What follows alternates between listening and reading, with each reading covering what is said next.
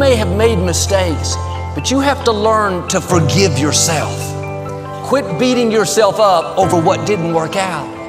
Sometimes we can forgive others easier than we can forgive ourselves. You can't change what's behind you, but you can do something about what's in front of you.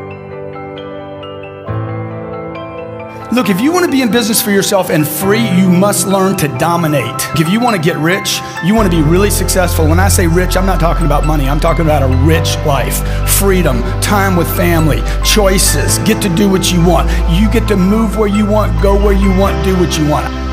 Look, you got to get in the game to dominate the game.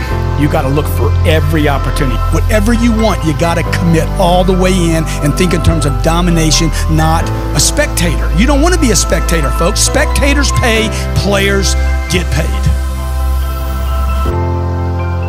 Whatever you think you're worth, if you're not sure of your own value, your own goals, and what you want, the world will never reward you of what you want, your value, and your goals in order to do something you've never done, you've got to become someone you've never been. You've got to become a risk taker.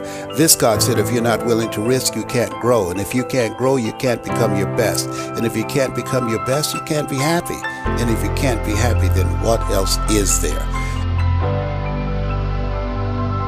But imagine, if you will, being on your deathbed and standing around your bed, the ghost of the dreams, the ideas, the abilities given to you by life, but you, for whatever reason, you never pursued those dreams. You never acted on those ideas. You never used those gifts, and there they are looking at you with large, angry eyes, saying, We came to you. And only you could have given us life, and now we must die with you forever.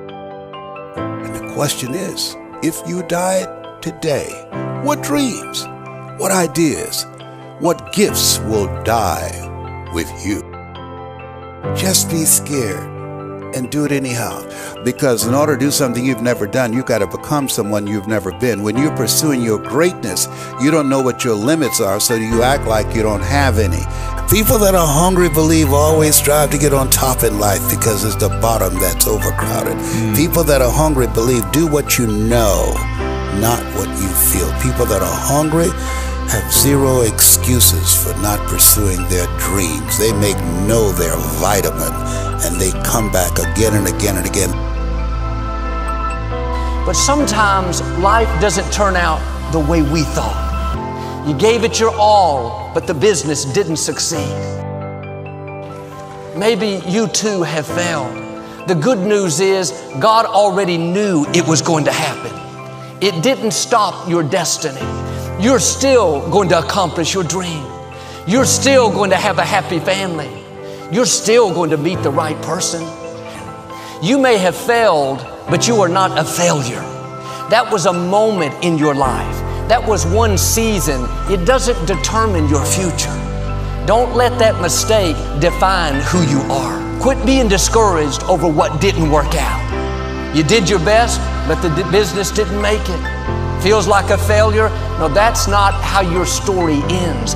God led you into the desert because He has something much bigger in your future. He had to close that door to get you to the fullness of what He has in store. If you can track failure, you can also track success.